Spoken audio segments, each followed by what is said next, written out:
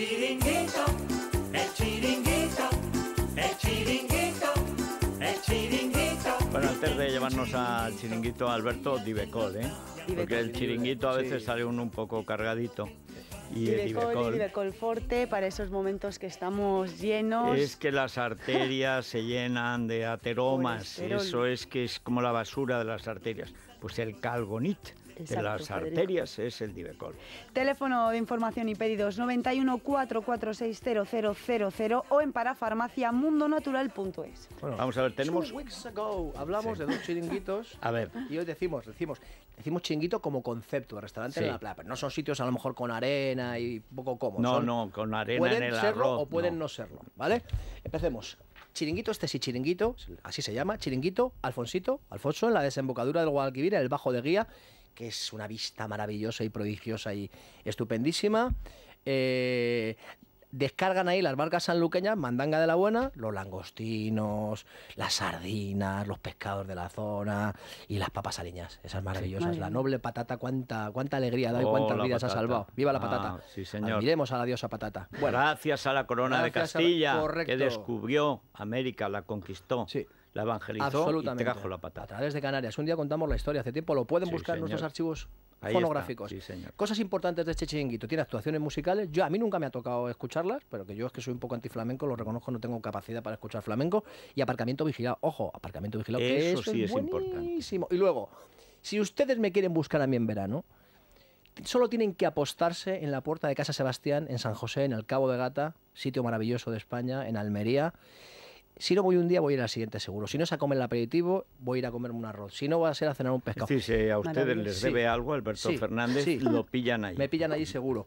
Pero el principal mérito que tiene este señor es que yo no conozco a nadie en España, y digo a nadie, que maneje la plancha como, como Manolo. Quinta generación de pescadores, una casa de pescadores frente a la playa de la Calilla.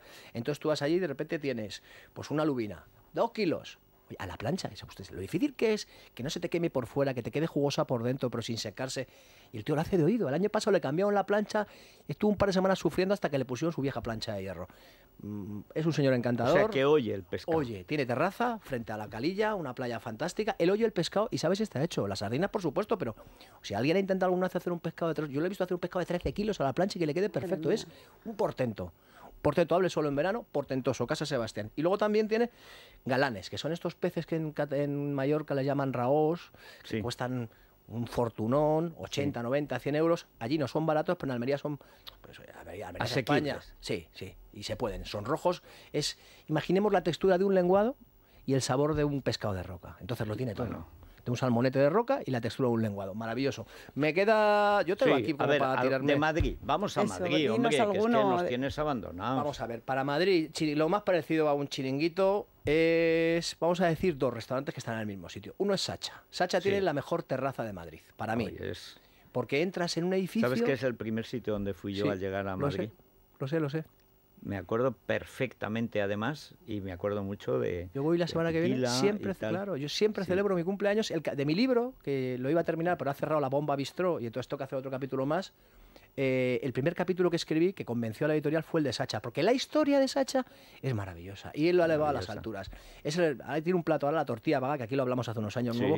Oye, que por todo el mundo yo lo veo en Instagram, fotos de imitaciones de la tortilla vaga. Ya la gente no sabe de dónde viene esta tortilla y es de Sacha. Bueno, tiene una terraza en el interior de la urbanización, tienes que entrar, que es absolutamente deliciosa, silenciosa, tranquila, fresquita, está muy sombreada. tranquila. Y al lado está el de la carnaza, el brasileño, Rubayat. Ru- También. Casi fantástico. nada. Yo creo que la semana que viene podemos terminar con esta saga, ¿no? Pues me parece muy bien. Casa Carmina y por Balanzat, la semana que viene. Venga. Muy bien. ¿Te parece bien, Verónica? Perfecto, ya tengo Vale. ganas de ir a chiringuitos yo. Eh, pues a Sacha. ¿Tú no has estado en Sacha? No, Sacha hay ¿ves? que ir. Pero hombre, vamos a a, ver si- o sea, esto el es viernes como... lo intento. Esto es como, mira, hay dos cosas que hay que hacer en la vida. Uno, ir a Sacha y otro, no ir a José Tomás. O sea, ¿por qué? Es una cuestión de buen gusto. Y además solo meterlo hace un año y en un sitio que no está en Madrid, no merece la pena. Sacha, en cambio, está ahí siempre dando de comer. y Está es siempre y siempre es una cosa seria, de verdad. Y sobre todo, Sacha era famoso por tener los camareros más bordes de Madrid. Afortunadamente se jubilaron y ahora tiene una gente encantadora. De verdad, ¿eh? Bueno, pero aún así. Sí. Bueno, pues nada, hasta mañana, Mañana. pásenlo bien.